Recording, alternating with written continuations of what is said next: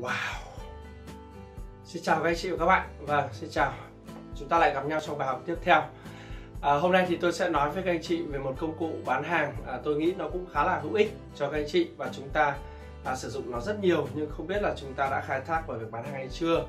Đó là công cụ Zalo của VNG à, Một sản phẩm công nghệ của Việt Nam. Thế thì hiện nay chúng ta thấy rằng là theo thống kê Thì Zalo cũng có hàng chục triệu người dùng. Tất nhiên con số thống kê chính thức thì tôi không được rõ lắm. Có lúc thì tôi thấy báo là 80 triệu người dùng Có lúc thì thấy báo là 50 triệu, 60 triệu. À, Tôi không biết con số chính xác là bao nhiêu Nhưng tôi được biết rằng hầu hết chúng ta đều có Zalo. À, Tức là chắc là cũng chừng khoảng 50 triệu người sử dụng gì đó.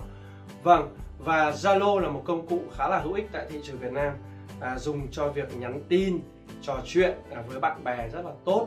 À, và chúng ta cũng có thể sử dụng nó như một công cụ bán hàng. Tuy nhiên đây là một số những cái lưu ý của tôi về Zalo. Thứ nhất là chúng ta có thể chạy quảng cáo trên Zalo. Và à, nếu ai chưa thử cái tính năng này thì chúng ta có thể thử. Bằng cách là chúng ta sẽ đăng ký à, mua quảng cáo của Zalo.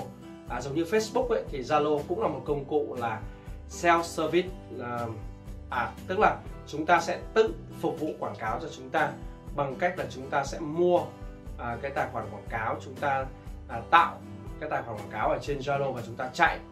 À, thì khi một một người người ta lướt là điện thoại trên Zalo như này giống như lướt Facebook ấy thì sẽ thấy cái tin à, có thể bạn quan tâm à, có một cái hình ảnh trên đó và xuất hiện à, các cái thông điệp ví dụ như là giảm giá 50% tất cả các mặt hàng. Và rất có thể bạn sẽ có một click từ click đấy sẽ quay về website của bạn. Đó chính là cách mà chúng ta sử dụng Zalo Ads. Thế còn bạn có thể sẽ hỏi tôi là Zalo Ads có hiệu quả hay không? Thì tôi xin phép được trả lời là có hoặc là không. Bởi vì ờ, cái chuyện có hiệu quả hay không là phụ thuộc vào việc là bạn bán sản phẩm gì, lợi nhuận của bạn thế nào.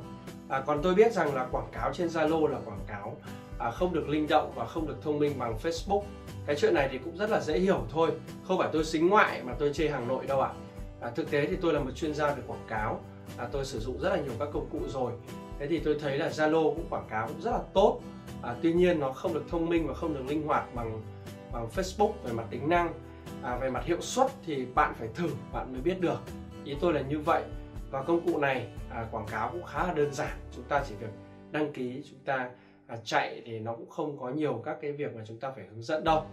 À, như vậy công cụ Zalo Ads chúng ta có thể chạy được được chưa và thứ hai chúng ta cũng có thể tạo ra Zalo Page hay còn gọi là À, Zalo uh, Official đúng không ạ? Account.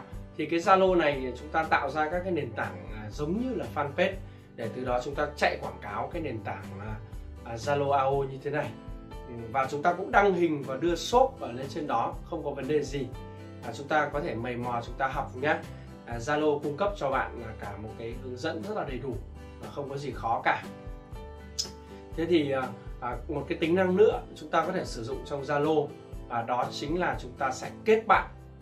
Chúng ta sẽ kết bạn. Hiện nay Zalo có cái tính năng rất là hay đấy là bạn chỉ cần nhập cái số điện thoại vào và bên kia sử dụng Zalo cái là hai bên sẽ thành bạn với nhau. À, tôi thấy khá là tốt và tăng sức mạnh cho Zalo rất nhiều. Thì bạn à, nên à, sử dụng một cái điện thoại di động à, để các bạn có thể kết bạn với những khách hàng mục tiêu à, và bạn nhập cái số điện thoại vào đó. À, bạn à, có thể kết bạn với khách hàng để bán hàng hoặc để chăm sóc khách hàng sau bán. À, hoặc là bạn cũng có thể quét quanh đây để sàng lọc à, khách hàng. À, ví dụ như bạn có một cái cửa hàng spa hoặc một cửa hàng thời trang hoặc một cái salon tóc bạn có thể sử dụng cái phương pháp là quét quanh đây sàng lọc giới tính và sàng lọc tuổi. Để sau đó các bạn à, kết bạn và đó có thể sẽ là khách hàng của các bạn trong tương lai.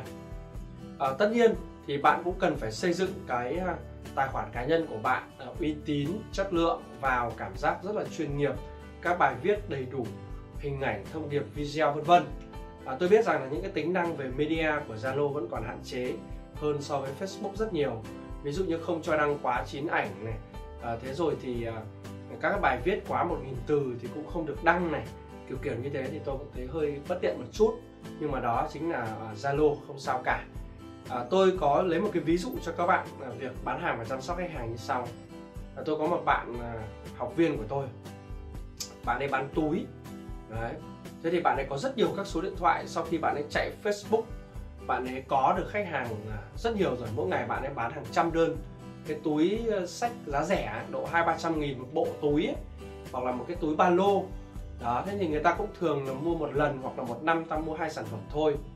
Thế sau đó thì bạn ấy muốn bán chéo sản phẩm vào cho cái tập khách hàng này. Thế thì bạn không biết làm nào để chăm sóc cả. Thì tôi bày cho bạn ấy một cách là gì? À, hãy mua một hai cái điện thoại cũ. À, ví dụ như iPhone cũ hoặc BlackBerry hoặc là Android đúng không ạ? Cũ à, giá chỉ độ hai ba triệu một cái thôi dùng được là được. Hoặc là rẻ hơn cũng được. À, sau đó các bạn lấy một cái sim của bạn vào.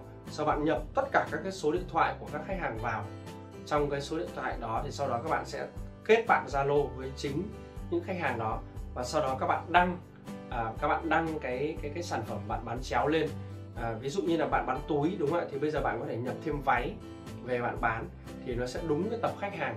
Tất nhiên cũng vẫn là giá rẻ và cái lượng mua à, nó cũng tăng lên đáng kể à, so với việc là các bạn à, à, sử dụng à, quảng cáo. Thì đây cũng là một cái mẹo một cái cách để chúng ta làm thôi.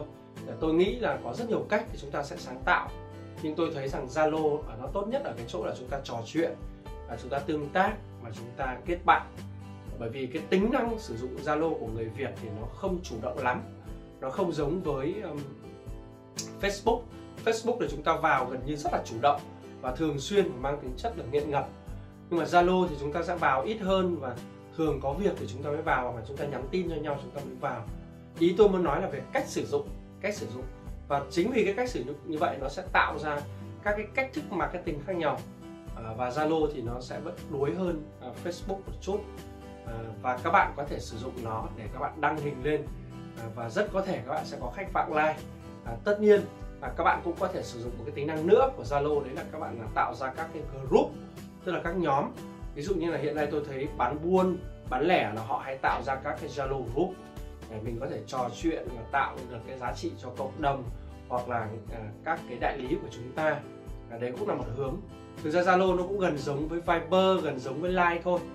Ờ, về bản chất thì nó không khác nhau cả nhưng mà hiện nay thì nó đang xoán ngôi tại thị trường Việt Nam thì tôi thấy là những công cụ các bạn cũng không nên bỏ qua để các bạn sử dụng. Và nếu mà các bạn muốn sử dụng tốt hơn nữa thì trên mạng cũng có một số cái khóa học người ta hướng dẫn.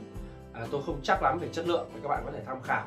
Hoặc là các bạn vào trực tiếp trang của Zalo à, nó có đầy đủ các hướng dẫn để các bạn xem.